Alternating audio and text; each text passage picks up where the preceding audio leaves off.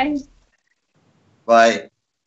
Uh, we're going to stick with Laura Turner for just a moment and turn our attention away from the tournament here. And uh, of course, uh, news has come to light over the last few days. A very good friend and colleague of ours, uh, Rod Studd, has suffered a stroke and from everybody involved at the uh, Remote Darts League, we just wanted to pass on our very best wishes indeed to Rod. Lots of positive thoughts uh, going your way. And Laura stayed with us. If we could just catch a word from you, Laura. You know Rod very well, of course, a colleague of yours. You've been recently involved with uh, Sky Sports. So tell us a bit about Rod, and I'm sure you're going to want to send your own personal message.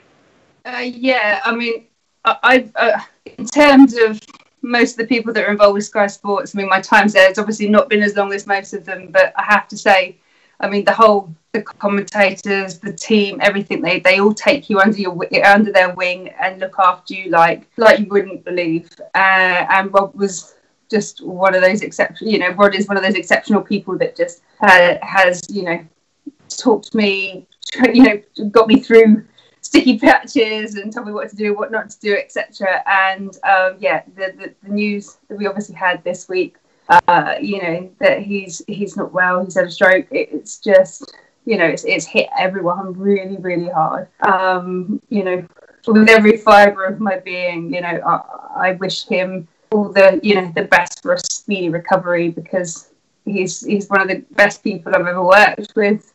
Um, and yeah, uh, you know, it's it's quite emotional for all of us. And um, yeah, I, I, just wish him, his family, and everyone all the all the love. And uh, you know, I, I, hope he gets well soon. Yeah, I think you speak for us all. I mean, he's a man absolutely at the top of his game. Uh, for me, as far as modern darts is concerned, he really has become the voice of darts. You know, all of the greatest moments in the sport, he's the voice that we hear on Sky Sports calling them home. But away from the commentary box as well, he's, he's razor sharp wit and, and such an intelligent man. And, and I think we all have that faith in us regarding Rod Studd. He's got such a strong mind that he, he will pull through this. But uh, as Laura said, um, everybody's sending their very warmest wishes uh, to Rod Studd and his family at this time. Yeah, absolutely. I mean, like you say, uh, I mean, I tried to engage in a, you know, non-dark conversation with him, even brushing the political side. And yeah, no, he's just the sharpest wit you can ever ever come across. So if anyone's gonna, you know, you know, smash this glass ceiling, as he would like to say, he, he's going to do it. So you know, I, have just I've been privileged you know to work with him, and I can't wait to do it again. I just you know have every faith and every will in the world that you know he's going to get better soon. Yep, so to Rod Studd and his family, on behalf of everybody at the Remote Darts League, uh, stay strong and get well soon. Yeah, absolutely.